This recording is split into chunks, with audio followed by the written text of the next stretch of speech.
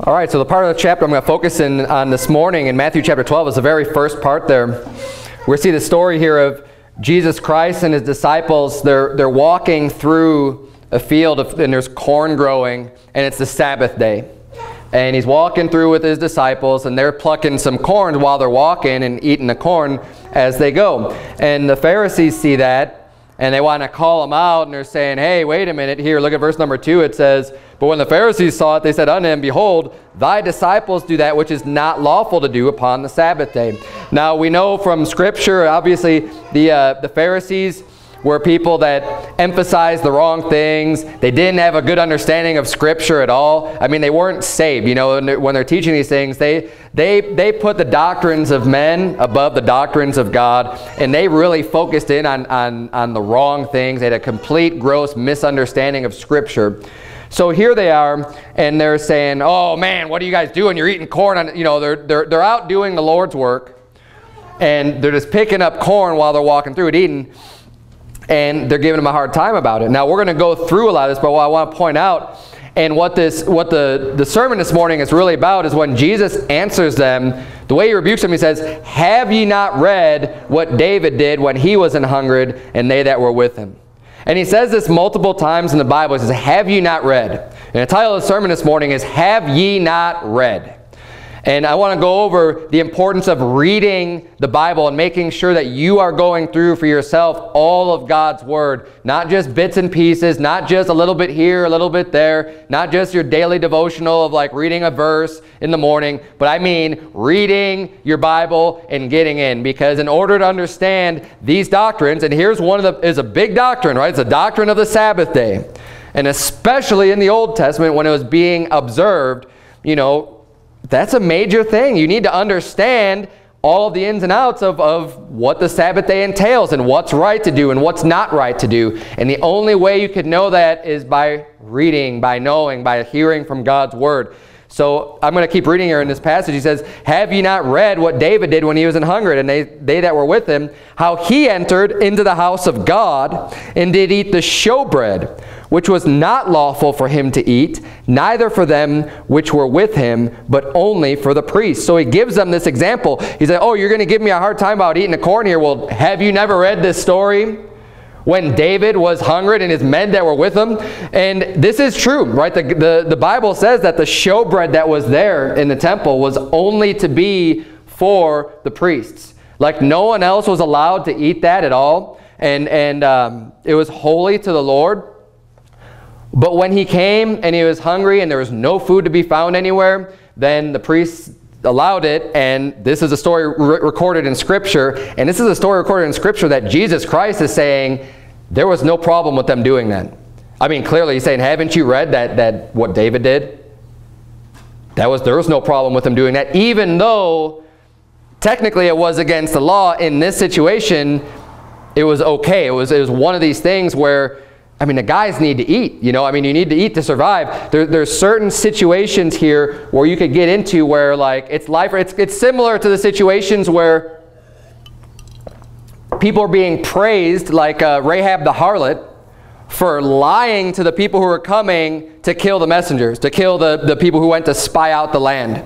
Right? Now we know that bearing a false witness is a sin. It's against the Ten Commandments. Yet she was being praised for doing righteously by hiding them in saving their life from people who were, who were out and, and, ready to kill them because they were doing God's work. They were in the right. They were walking in the Spirit and doing what was right, and they protected them um, in that circumstance. So uh, we see this here. This is another one of those circumstances. Look at verse number 5. He says, Or have ye not read in the law how that on the Sabbath days the priests in the temple profane the Sabbath and are blameless? But I say unto you that in this place is one greater than the temple. But if ye had known what this meaneth, I will have mercy and not sacrifice, ye would not have condemned the guiltless.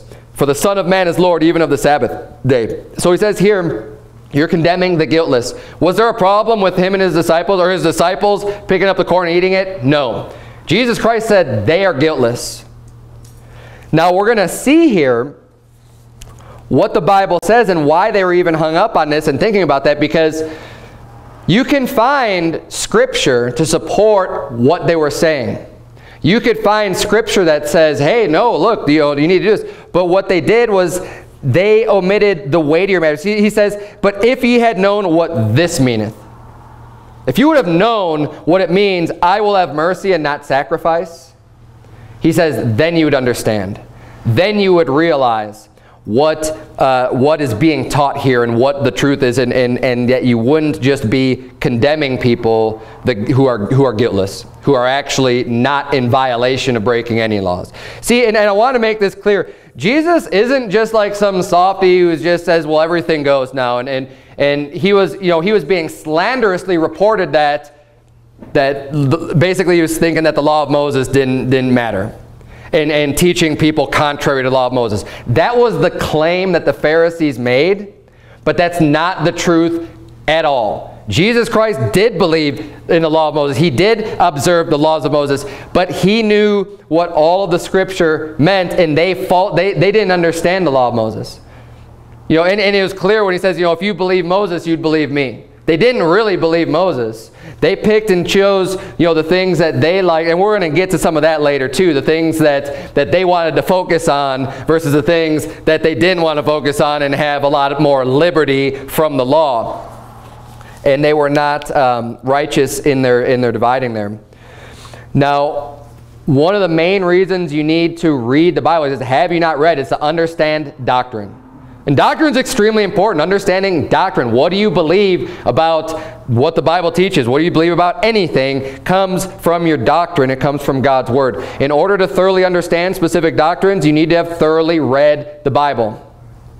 You have to consider the whole when you look into the small section. See, if you want to learn anything about a subject, it will good, one of the good ways to do that in the Bible is try to look up every time that subject is mentioned right? You want to know about any specific sin. You want to know about the Sabbath day. You can go through, you could get a concordance, you could do word searches, you could try to find, hey, where does the Bible talk about this? And go and read those passages. But here's the thing. If you haven't read the Bible cover to cover, if you don't know the context of all of those different passages that you're reading, you're going to be very easy to get into false doctrine. You have to have the whole picture. You have to have the broad understanding. You have to know where things fit in. You can't just go and look. I mean, you could find some scripture references and maybe it'll be in the book of Job and it'll be Job's friends talking and then you're going to be like, oh, see, look, this is in the Bible and use that to support some belief. When you find out at the end, God says, look, what Job's friends were saying, they were wrong. And what Job said was right. So you have to understand that. Now, it doesn't mean that every single statement that they made was false, but you got to keep that in mind. You can't just go and have, that's my proof text. It's what, you know, Eliphaz the Temanite says, or, you know, Bildad the Shuhite said and to Job, like, that's where you're getting your doctrine from. You won't know that, though, unless you have read the Bible in total. And you also have to be careful and say, oh, well, I think this says, you know, one thing, where that would be contradictory to many other statements within the Bible. For example, you know, James chapter 2, the Bible says, faith without works says, you know, can faith save him? And you read that, if you just were reading that, you might say, oh, well, maybe faith can't just save you. Maybe you need to have works too. And just the way that that one passage is written, you might start to think, oh, well, maybe there's something else involved. But when you have the whole, the Bible as a whole, and you have it in context, and you know, no, no, no, no. I've read over and over and over again faith without, you know, that, that we're saved by grace through faith without works. We know, you know, I've seen that plenty of times. I know that. I've heard that taught. So when you have the whole context, you could understand these things and be safer digging into specific subjects. But you have to read. Understanding the law on the Sabbath day is a great example of this. We're gonna, and we're going to look into this a little bit deeper. The Pharisees seem to pick certain things in the law and focus on them more than what was even more important. So look at, um, turn if you would to Exodus chapter 20 because we're going to see where the, the command is on the Sabbath day. I'll go read for you from Matthew 23 verse 23 when Jesus was rebuking the Pharisees. He says, Woe unto you scribes and Pharisees, hypocrites, for ye pay tithe of mint and anise and cumin and have omitted the weightier matters of the law, judgment, mercy, and faith. These ought ye to have done and not to leave the other undone. See, they were focused on, you know, tithing, for example, and they, and they were tithing on the smallest of things, on just these little herbs, right? They're supposed to tithe on their increase, and they're tithing on, on just all the way down to just the smallest little thing, and they were so focused on that. And he says, look, that's great that you did that. That's why he says, and not to leave the other undone. He said, you should have done that. He says, but you were so focused on that, you've just completely skipped over the big things, the important things, you know, judgment, mercy, and faith. This is what I'm trying to teach you through the law, and you've just completely, that's just gone right over your head, and you're just focused on these little details. And that's why he said to him earlier in our, in our opening passage, but if you had known what this means, meaneth, I will have mercy and not sacrifice. You notice he mentioned mercy there. He mentioned mercy also in Matthew 23 when he was rebuking him. He's like, you don't even know anything about mercy. They didn't understand the laws that they were focusing on, and, and it, it was evident from that opening passage. They misunderstood the scope of the law and its purpose. The scope meaning how far can you go with the law? How, to what extent are you going to enforce that Sabbath day law, right?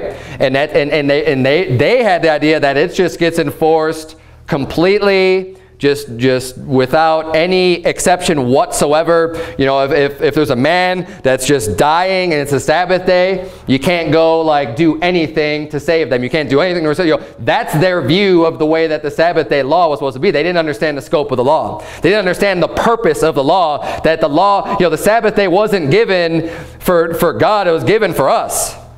And we're going to see that. Look at Exodus chapter 20, verse number 8. The Bible reads, and this is, this is from the Ten Commandments, right? In Exodus chapter 20, verse number 8 reads, Remember the Sabbath day to keep it holy. Six days shalt thou labor and do all thy work. But the seventh day is the Sabbath of the Lord thy God. In it thou shalt not do any work.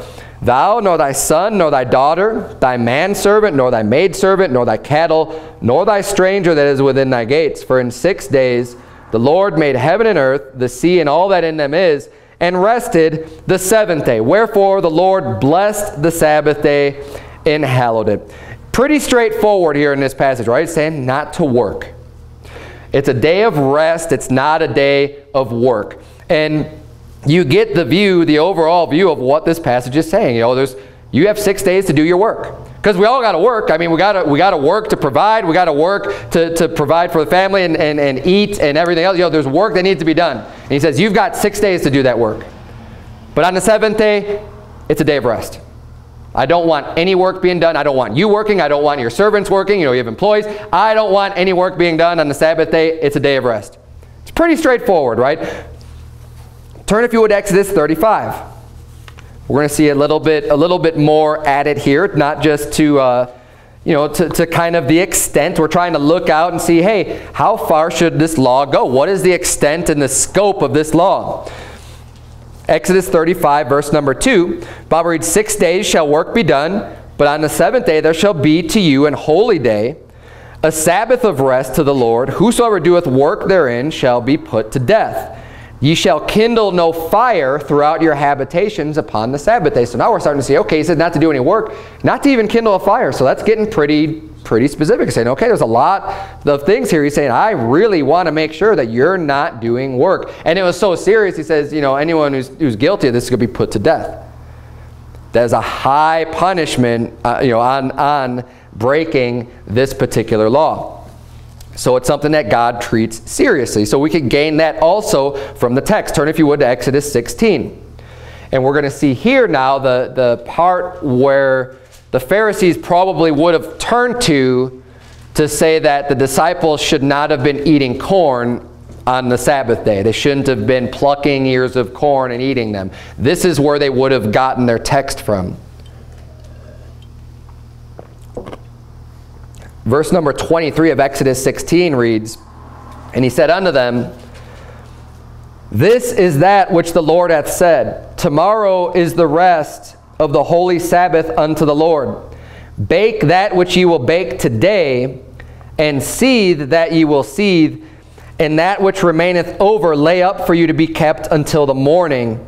And they laid it up till the morning, as Moses bade, and it did not stink, neither was there any worm therein. And Moses said, Eat that today, for today is a Sabbath unto the Lord. Today ye shall not find it in the field. Six days ye shall gather it, but on the seventh day, which is the Sabbath, in it there shall be none. And this is when the manna was being provided for the children of Israel in the wilderness. This is when they were being fed by God. They were being fed angels' food by God. The manna would, would show up on the ground in the morning and they would go out and collect it. And whatever they collected was just enough that was sufficient for them. It says some people you know gathered much and they had nothing left over. And those that gathered little had no lack. There was no you know, everybody had exactly what they needed when they would go out and collect this food. But it was a little bit of work. They had to get up in the morning. They had to actually go out physically go and and and gather the food. And what he was saying here the law was they were, and they also weren't allowed to store up any of the manna for the next day. He says, because if they did that, then it would breed worms and it would stink. And there's another miracle in this provide, provision of the manna. He says, okay, on Friday, the day before the Sabbath, you are going to save some up. Any other day that you do that, it's going to breed worms and stink. But on this specific day, it's going to stay. It's going to be good. It's, you, your, your food needs to be prepared already. However you want to eat it, have it done the day before because guess what? On the Sabbath day, there's not going to be any manna out there for you to get. Because I don't want you, um, you know, breaking the Sabbath and going out and working and collecting this food. You're going to just eat from that which you already have. This was the law that was given. This is what God designed and when he was giving them the manna. So this is where I would say they would say, oh, okay, well, you're not supposed to be gathering food and eating it on the Sabbath day, right? I mean, you could see where they might come to that conclusion, but that was false. It was wrong because what were they doing? Think about this. Were they just living at home and going out and, and gathering their food on the Sabbath when Jesus and his disciples were out preaching the gospel and out doing the work of God? No. They weren't just sitting at home and just decided, hey, I'm going to get up on the Sabbath and go out and collect my food and do work on the Sabbath, which is forbidden. That's not what they were doing. Turn, if you would, to John chapter 7. We're going to see a very similar example to, to what they did, uh, talking about the disciples, what they, what they accused Jesus of in John chapter 7. Because the, it's the same reason. Now, this isn't Jesus collecting food, but it's Jesus healing in John chapter 7. But either way, it's, it's in the Pharisees' eyes breaking the Sabbath, right? Look at John chapter 7, verse 21. The Bible reads, Jesus answered and said unto them, I have done one work, and ye all marvel. Moses therefore gave unto you circumcision, not because it is of Moses, but of the fathers. And ye on the Sabbath day circumcise a man. If a man on the Sabbath day receive circum circumcision, that the law of Moses should not be broken, are ye angry at me? Because I have made a man every whit whole on the Sabbath day? Judge not according to the appearance, but judge righteous judgment. So what Jesus is doing here, he's pointing out, see, they, they wanted to kill him because he healed on the Sabbath day. He actually healed people that were that had all kinds of diseases, all kinds of problems, and made them whole again. A miracle. He performed a miracle of God on the Sabbath day, and they wanted to put him to death because, oh, you broke the Sabbath day. That's the spirit that they had. That's the way that they viewed the law not understanding mercy, not understanding judgment, not judging righteously, not understanding even the simple fact. He points this out. He says, the way that you understand the law is a contradiction already within Scripture. Why? Because Moses gave the law, right? And part of that law was to circumcise a child on the eighth day. It had to be the eighth day after they were born. A male child is circumcised eight days after birth. Well, guess what? If it's eight days after birth, one of those days is going to end up being a Sabbath day. For some people, there's going to be Sabbath days where the eighth day, hey, this child needs to be circumcised. Well, guess what? They're doing a work then. They're actually performing a circumcision.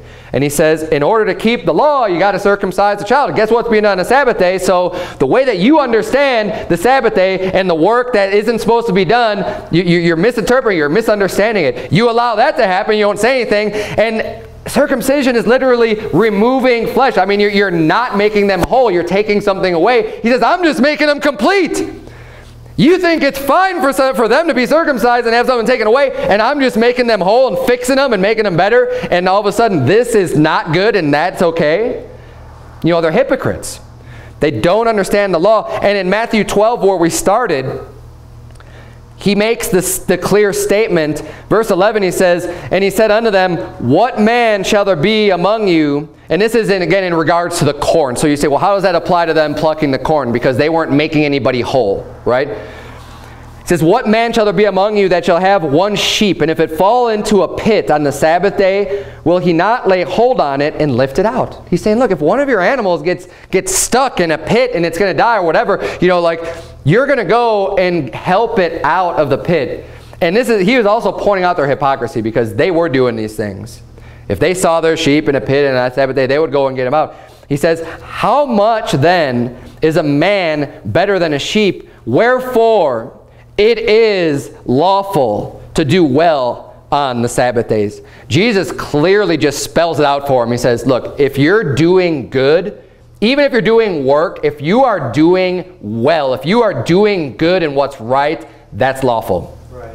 And what they were doing, Jesus and his disciples were doing well. They were going out and serving God. They were going out and performing the work that God had set before them. That's why Jesus said, you know, my Father worketh hitherto, and I work also.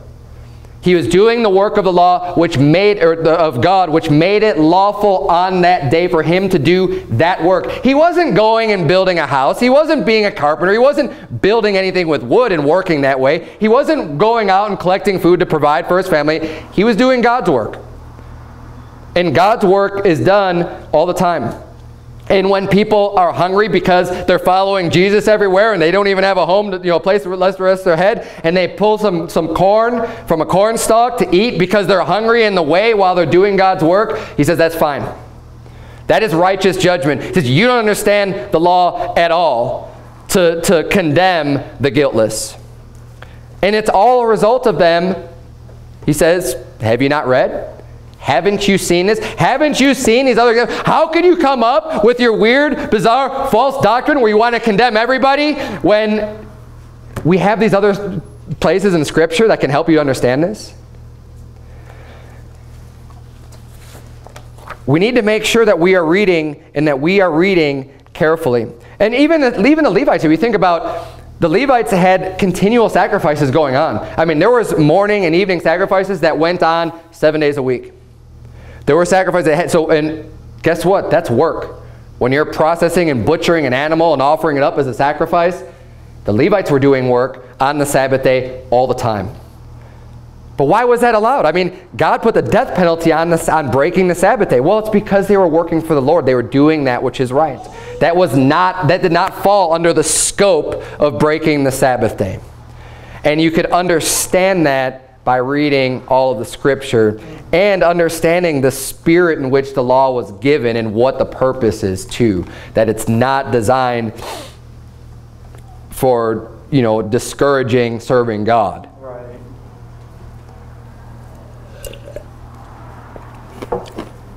Turn, if you would, to Matthew 19. I'm going to read for you just, just the last closing on this point here about the Sabbath day.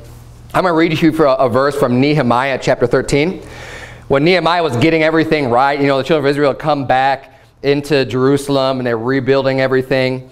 And he was, he was getting everything going again, getting things started, and they were going to have a, a, Passover and everything else. They were, um, he's like, we need to, to observe the Sabbath day. But people kept coming in and selling stuff, and they had to close the gates. He's like, look, this isn't going to happen anymore. You know, we're going to put this to rest right now. We're going to stop this. I got to make sure. And he, you know, he told the people because they came and they even came and like sat outside the gates because they just wanted to keep selling and stuff, and they didn't care about the Sabbath day. And he, he basically threatened them. He's like, look, you guys come back here again, you know, you're going to wish you hadn't come back again. I'm, I'm totally paraphrasing that. But one of the things that he did, in order to preserve the Sabbath day, I'm going to read this for you. Nehemiah 13, verse 22 says, And I commanded the Levites that they should cleanse themselves and that they should come and keep the gates to sanctify the Sabbath day. Remember me, O my God, concerning this also, and spare me according to the greatness of thy mercy. He put them to work guarding, watching the gates to make sure that nobody was going to come in and profane the Sabbath day. So you could say, how is that possible? Because they were doing the work of God. They were doing what was right. They were trying to sanctify the Sabbath day. Did it require some work? Yes, it did. But they were sanctifying the Sabbath day from those who really were polluting it as opposed to, you know, going to, up to the Levite and saying, what are you doing here standing guard and watching over this gate? Don't you know you're not supposed to be working on the Sabbath day? It's completely fine and righteous, and actually it was a good thing. That actually helped them to sanctify the Sabbath day. But you have to read the scripture. You have to read all of it. You can't just look at one verse. You can't just look at one section in order to form your entire doctrine, especially on something like this, like we're like working on the Sabbath day. What's the scope? Where does it measure? Well, you have to read. Now we're going to look at another time here in Matthew 19 where Jesus asked them, have you not read? And this is another question on the law. They were misapplying the, the Sabbath law, which really is, is a good law for us. I mean, anybody that works hard or work, you know, to work six days a week and just God says, okay, look, you just have to rest. That's a, that's a good, that's a benefit for us, right? It's not one of those things like, you know, you might, you might look at something if you're living in the Old Testament, having to travel to Jerusalem to, you know, get all your kids together, get all your stuff together to go and, and pay your tithe or to go and do, you know, do whatever. Those might seem more burdensome. But I mean, keeping the Sabbath day, you're like, oh, wait, I don't have to work? and wait, no, wait, not only do I not have to, I can't work? You're forcing me to take a day off? Okay, you know, I mean, really, it, uh, who would, who would want to fight against that? Just one day, just in just getting right. I mean, I understand what it's like to want to get work done and do some work, but man, and just God says, no, you have to do this. That's a good thing. And, and, and this is the way that they were viewing that. It's like they were making it bad. They were making it like despised in people's eyes because of the way they wanted to enforce the Sabbath day, as opposed to it being an actual blessing. But see, now we're going to see the flip side. We're going to see where they don't like the law very much, the way that it ought to be enforced, and they want to start making excuses to get out of the law. Look at Matthew 19, verse number 3. The Bible reads, The Pharisees also came unto him, tempting him, and saying unto him, is it lawful for a man to put away his wife for every cause? And he answered and said unto them, Have ye not read that he which made them at the beginning made them male and female, and said, For this cause shall a man leave father and mother, and shall cleave to his wife, and they twain shall be one flesh. Wherefore, they are no more twain, but one flesh. What therefore God hath joined together, let not man put asunder. They say unto him, Why did Moses then command to give a writing of divorcement and to put her away? He saith unto them, Moses, because of the hardness of your heart, suffered you to put away your wives. But from the beginning it was not so. And I say unto you, whosoever shall put away his wife, except it be for fornication, and shall marry another, committeth adultery.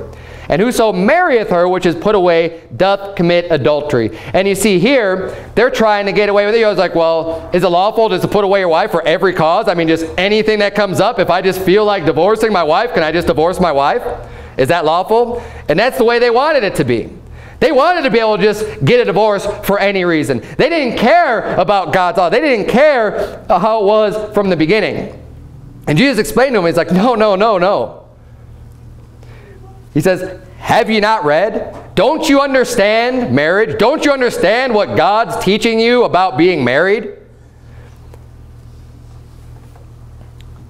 That what God has joined together, let not man put asunder. Don't divorce your. Like God brought you together. You got married before the Lord and you made vows till death do us part. And now you want to just divide that up? He said, don't divide what God has brought together. But see, look at their look at verse number 7 again. This is the way that they view the law. This is the way that they look at it. And it's completely wrong. Why did Moses then command to give a writing of divorcement and to put her away? They're saying, well, then why did Moses tell us to divorce her? Did Moses tell them in the law to divorce their wives? No. There was an allowance. There was one exception made within the law where where it wouldn't be a sin to divorce your wife. That was what was put there. It wasn't Moses' command. Well, why did Moses tell us to divorce our wife then? This is the way that they viewed it. Why? Because they wanted to get away with their sin and they wanted to justify themselves and their wicked hearts to allow themselves to do whatever they wanted and to not have to observe God's laws. The ones that were good, they were being really strict on and didn't want you know, anything good come out of that. And then the ones here that would have impacted them, where they actually would have had to keep some kind of righteous living and, and doing what's right here and not be able to divorce their wives, didn't want to obey that one. So they're looking for every loophole. And look at what Jesus said. He says, look, and, and he, he addresses their response. He says, Moses, because of the hardness of your hearts, suffered you, which means he allowed it. He allowed it. To, he didn't command you to do it. He allowed it to happen because your hearts are hard. He says, but from the beginning it was not so.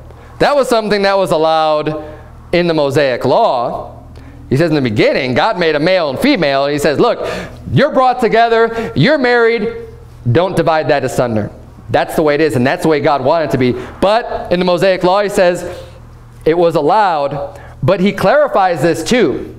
Because people these days want to say, oh, well, it's allowed then, right? So God allowed there to be divorce. Yeah, in one specific situation. And Jesus explains very carefully what that is. He says, whosoever shall put away his wife, except it be for fornication. That's the caveat. That is the case where he says, unless it's for fornication, he says, if you put away your wife and marry another, you're committing adultery. And whoso marrieth her which is put away doth commit adultery. Says, that's what it is. Because in God's eyes, you're still married. When you, when you get divorces for any of these other reasons, he says, when you marry someone and put them away, he says, except to be for fornication. Now, that word fornication is important there. And as you go, and I'm not going to go back and prove this. You could look up the, the references for yourself. Go, go look up the Old Testament law that talks about this.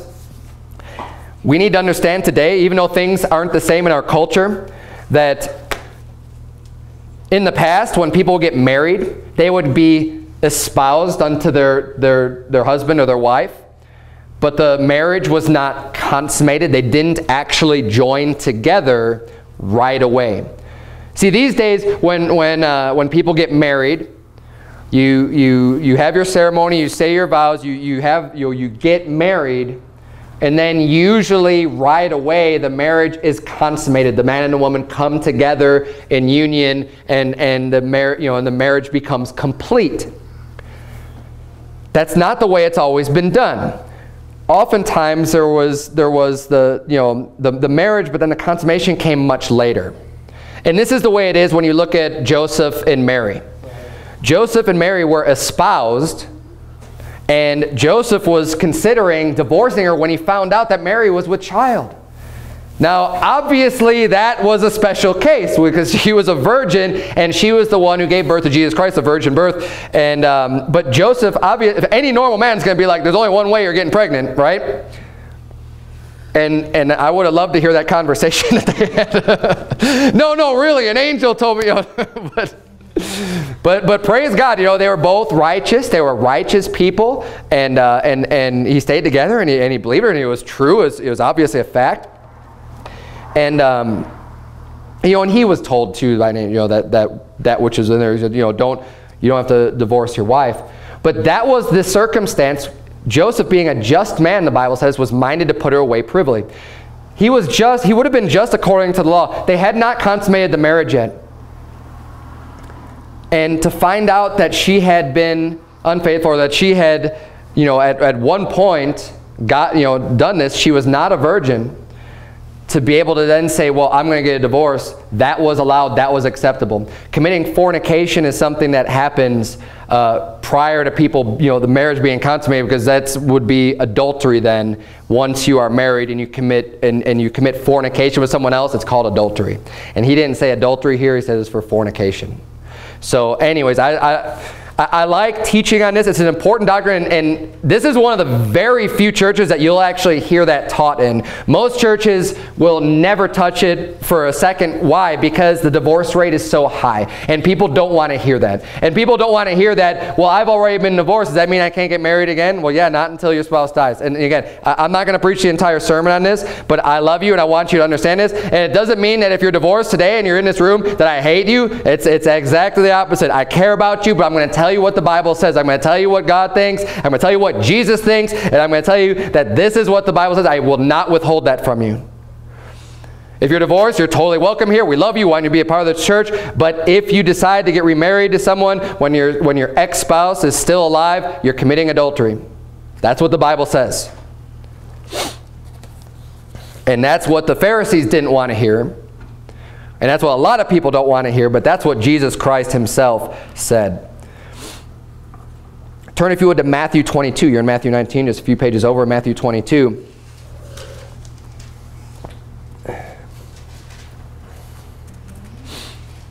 And we're going to see another, one more, one more um,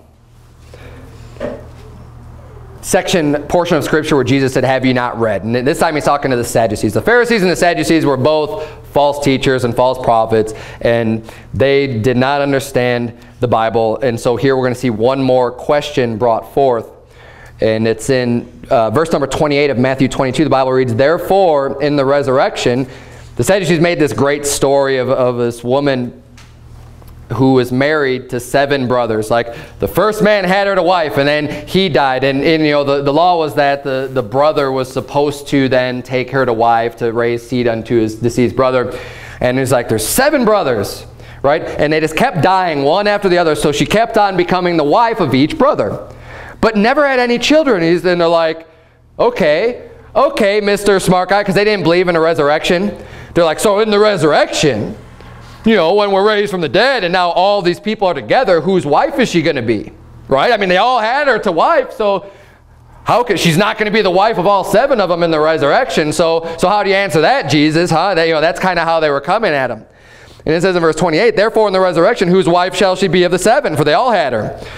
Jesus answered and said unto them, Ye do err. He said, You're in error. You're wrong, not knowing the Scriptures nor the power of God. For in the resurrection they neither marry nor are given in marriage, but are as the angels of God in heaven. But as touching the resurrection of the dead, have ye not read? See the answer again. Haven't you read that which was spoken unto you by God, saying, I am the God of Abraham and the God of Isaac and the God of Jacob? God is not the God of the dead, but of the living.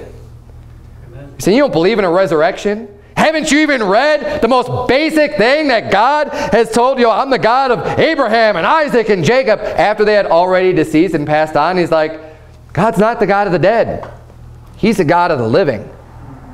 That's enough for you to understand that there is a resurrection, knowing that God is a God of the living. And he rebuked them for that. And he's saying, look, haven't you read? How can you not understand? Have you not read? Jesus expected people to read. Turn, if you would, to John chapter 3.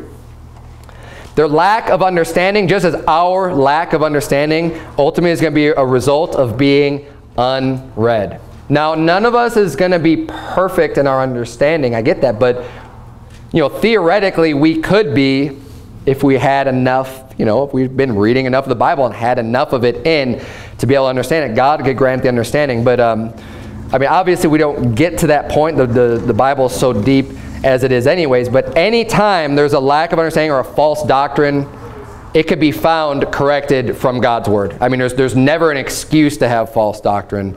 It's, it, it all is written there plainly for us.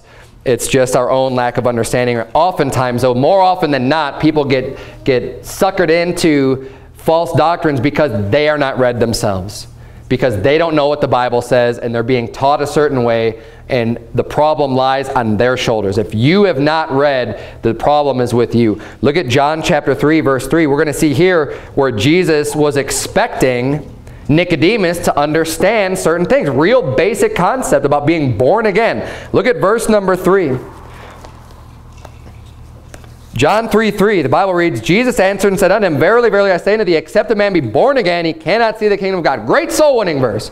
You got to be born again in order to see the kingdom of God. Look at verse number 4. Nicodemus saith unto him, How can a man be born when he is old? Can he enter the second time into his mother's womb and be born? Jesus answered, Verily, verily, I say unto thee, except a man be born of water and of the Spirit, he cannot enter in the kingdom of God. That which is born of the flesh is flesh, and that which is born of the Spirit is spirit. Marvel not that I said unto thee, Ye must be born again. The wind bloweth where it listeth, and thou hearest the sound thereof, but canst not tell whence it cometh and whither it goeth. So is everyone that is born of the Spirit. Nicodemus answered and said unto him, How can these things be? He didn't understand. Jesus was explaining to him, look, you know, because Nicodemus didn't understand. He's like, how can a man be born when he's old? Like, what are you talking about born again? Like, I'm a grown man. I can't go back into my mother's womb and be born again. So what are you talking about? And Jesus, you know, he, he explains them. He's, he's, he's showing long suffering here. He says, look, you got to be born of water and of the Spirit. Born of water, he's not talking about baptism as so many people falsely teach.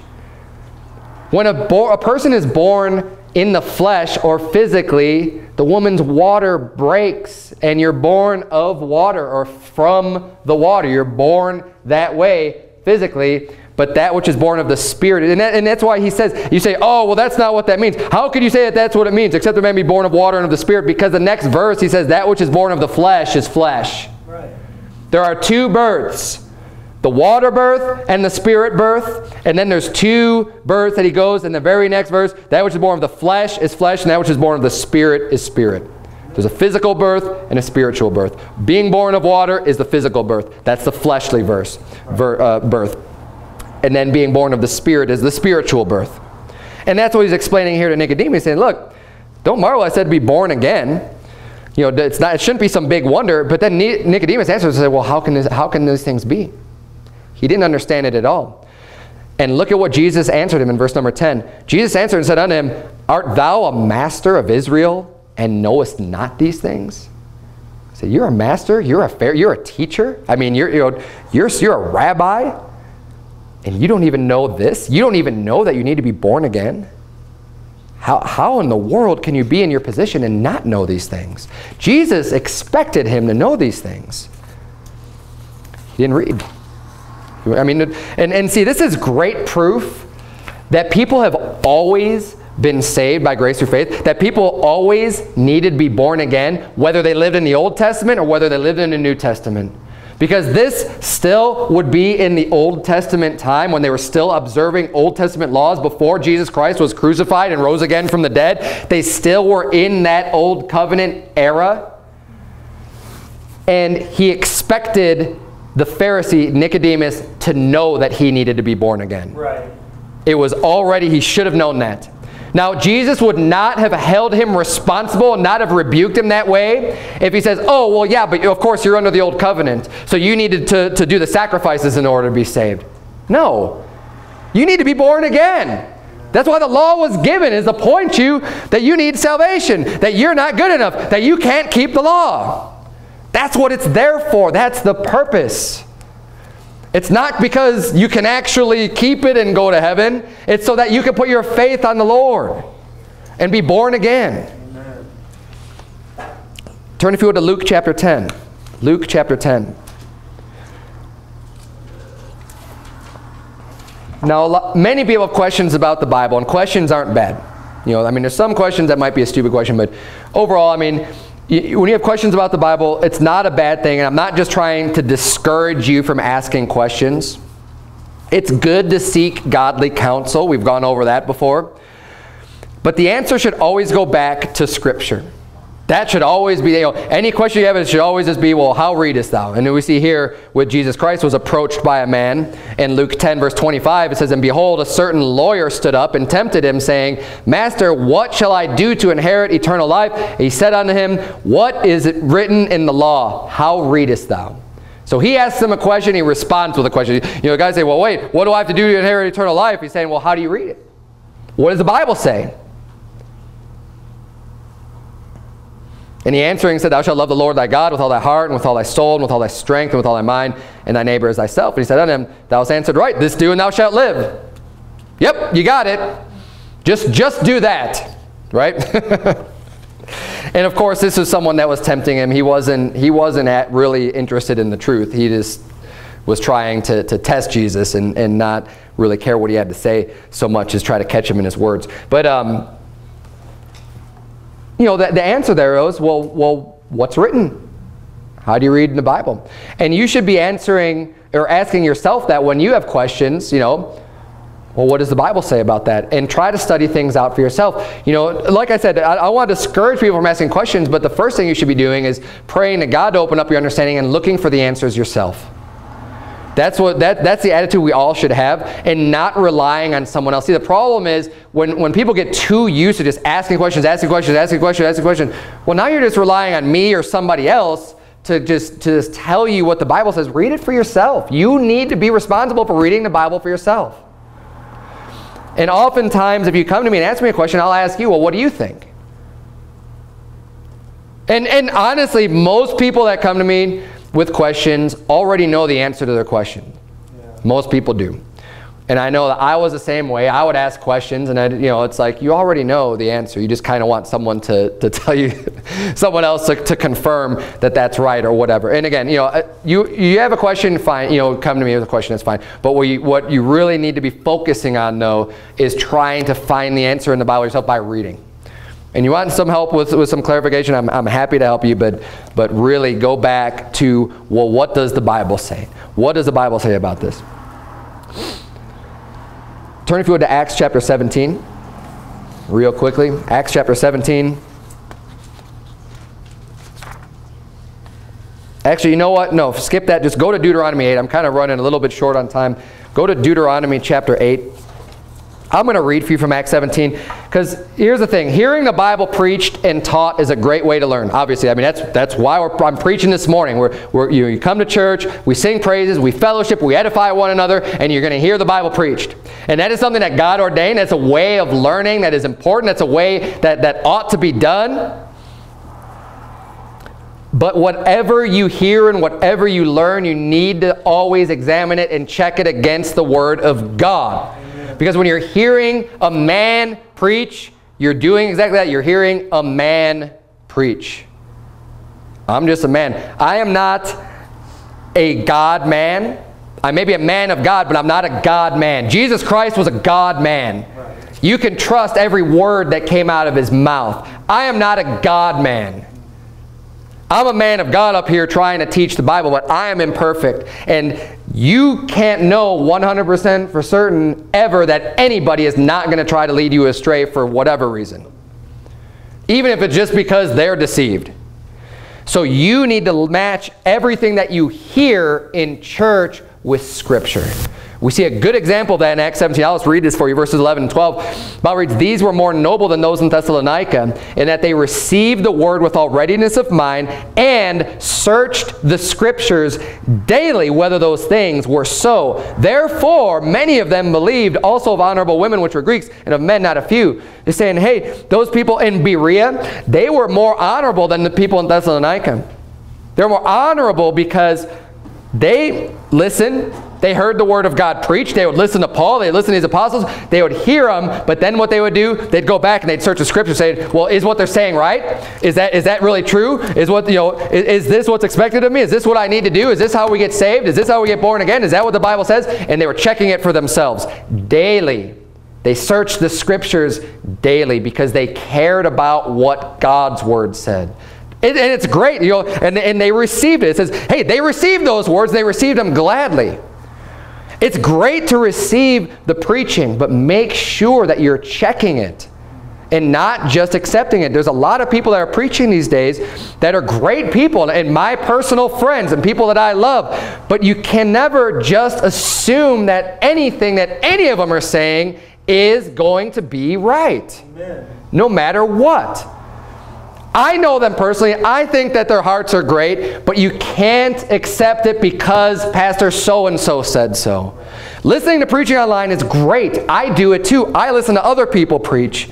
But don't let that be a substitute for reading your Bible. Put the priority on you reading first. Don't ever skip out on your Bible reading because, oh, well, I listened to some preaching today, so that's my Bible reading for the day. No, it's not. And that shouldn't be the way that you handle it. How much should you read? You're in Deuteronomy chapter 8. Say, I get it. You know, Jesus was talking to people, how, you know, have you not read? Have you not read? Obviously, we need to read the Bible. Well, how much should we be reading? How much? It's a good question, right? Is I want to do what's right. I want to make sure that I am reading my Bible so that Jesus doesn't come to me saying, have you not read? Right? Because I don't want that to happen. I don't want to be rebuked. Well, look at Deuteronomy chapter 8, verse number 1. Bible reads, All the commandments which I command thee this day shall ye observe to do, that ye may live and multiply and go in and possess the land which the Lord sware unto your fathers. And thou shalt remember all the way which the Lord thy God led thee these forty years in the wilderness to humble thee and to prove thee, to know what was in thine heart, whether thou wouldest keep his commandments or no. And he humbled thee, and suffered thee to hunger, and fed thee with manna, which thou knewest not, neither did thy fathers know, that he might make thee know that man doth not live by bread only, but by every word that proceedeth out of the mouth of the Lord doth man live. That, that manna that was fed for the children of Israel in the wilderness served a very important purpose. And the manna is actually symbolic of the Word of God. And he said he was teaching them that, you know what, when you got up every day in the morning, you collected that manna. And every day you were provided for, he says, it humbled you. It humbled you to be in that situation. It humbled you to go hungry. It humbled you to rely on the Lord for you to be provided for. It humbled you for that. And that was all done to teach you, to teach you that man doesn't live by bread alone, but by every word that proceedeth out of the mouth of God. If we view our life as needing to survive by needing every word of God, which is the whole Bible cover to cover, my friends. We need to live by every word of God. Just as much as you need to eat to survive, you need every word of God to survive. Then I'll let you answer that question. How often do you think you should be reading? Think about how often you eat. How many days do you go without eating? And then ask yourself, how many days do you go without reading the Bible? Without reading Scripture. And then ask yourself, how much do you eat? Versus how much do you read? Do you read one verse? Well, do you take one kernel of corn and eat that for, you know, for your dinner? He's re relating the two. The food, the nourishment that we need for our physical flesh versus the food that we need for our spirit, which is through the Word of God.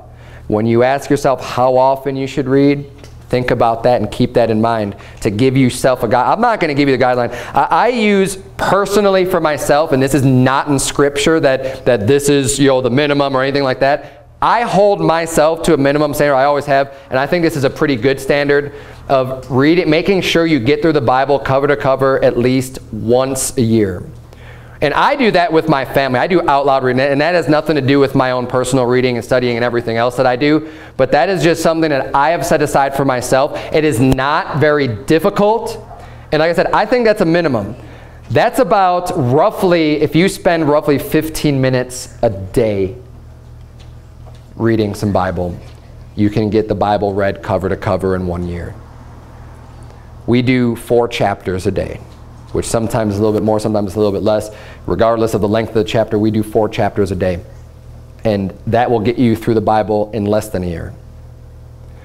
And it's extremely important that uh, that we're reading. And, you know, and, and, this is the purpose of the sermon. You know, I'm not preaching anything new. It's probably most of you have already heard this. You already know that you should be reading the Bible, but I want you to lift, I want to encourage you and, and edify you and show you, look at how important this is. You want to get your doctrine right. You want to understand whether the things that you're being taught is true. You need to be in your Bible daily. You need to treat it as your daily food. Let's keep reading here in, in, in Deuteronomy 8. Jump down to verse number 10. Bible reads, When thou hast eaten and art full, then thou shalt bless the Lord thy God for the good land which he hath given thee.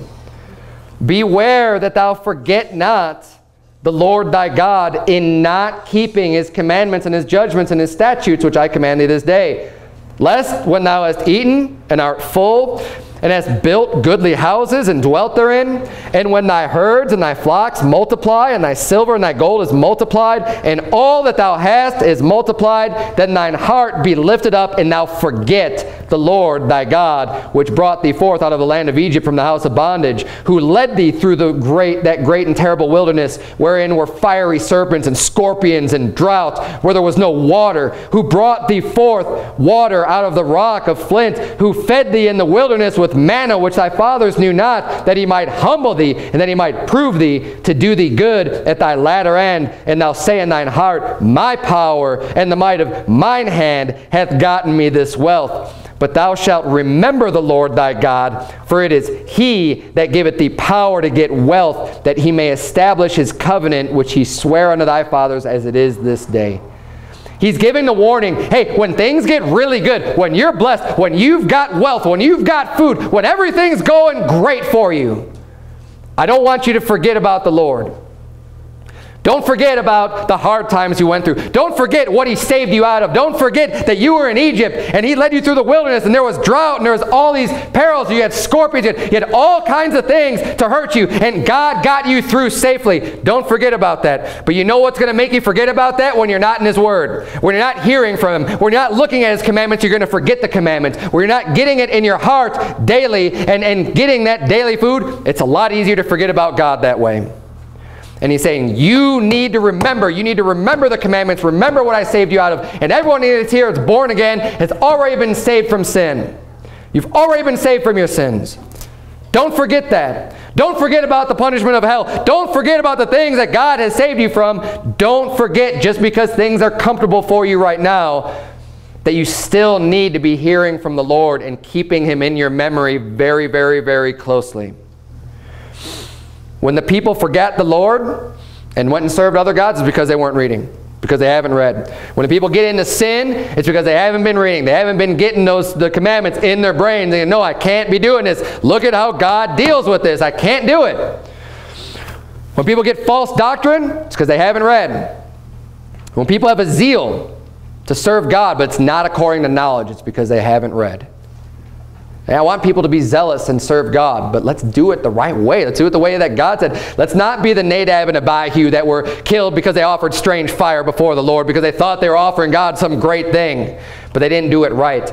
Let's not be like um, Cain, right? Who offered up the best works of his hands and not what God had wanted him to do. You know, these people who, whether through ignorance or willfully, did something wrong. Let's not at least be ignorant I can't help you if you're going to do something willfully wicked. But I could help you not to do it uh, ignorantly. And, and, and you need to help yourself to not be ignorant by reading your Bible. If you have not read your Bible even one time, cover to cover, ever, how do you know what you're missing? You don't know. You don't know what you haven't read. You don't know what you don't know. And there's no way you could be sure, really, about a lot of things that you hear taught from the Bible. If you haven't even read you know, everybody needs to at least have gone through the Bible one time if you're saved. You have to. I mean, if you haven't done that, I would put that up to, to the top of your priority list. Say, I haven't done this. I'm saved and I've never read through the Bible cover to cover one time. Make that a priority. Get that done. But then don't just stop there.